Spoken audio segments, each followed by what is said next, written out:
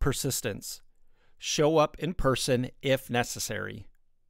During my last three months with my mentor, I worked on a complex project involving a commercial real estate parking deck. We encountered water penetration issues on the deck, causing leaks into the space below.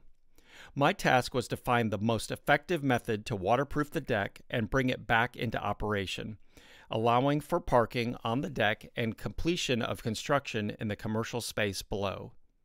This project faced various delays and complications, and one such obstacle arose when we realized that a structural engineer was required to inspect the parking structure before proceeding with the waterproofing and concrete slab.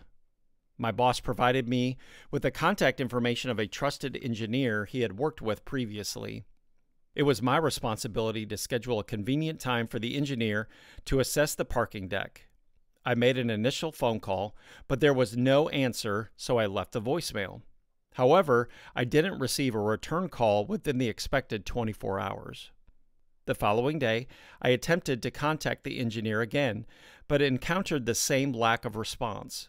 I left another voicemail, and this pattern continued for a week. Despite making multiple calls and leaving numerous voicemails, there was no reply. My boss grew increasingly frustrated with the lack of progress in connecting with the engineer. Therefore, we decided to seek assistance by reaching out to individuals who were familiar with him. Through this effort, we discovered that the engineer had recently returned from vacation and was busy catching up with work, which explained the lack of response. While waiting for a response from the structural engineer, my boss shared three personal stories that highlighted the importance of pushing for closure in crucial situations. In the first example, my mentor recounted how an ex girlfriend needed an extension on a contract for a commercial building. She was unable to reach the building owner to secure the extension. In response, my boss advised her to choose between waiting and losing the contract or taking immediate action by finding the owner's location, boarding the next flight, and meeting with him personally.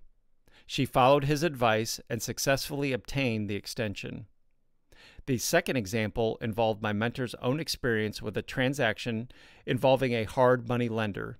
The process was moving too slowly, jeopardizing a property deal that required immediate funds. Without delay, my boss boarded a plane to meet the lender and successfully had the money wired to his bank account within the required two day timeline.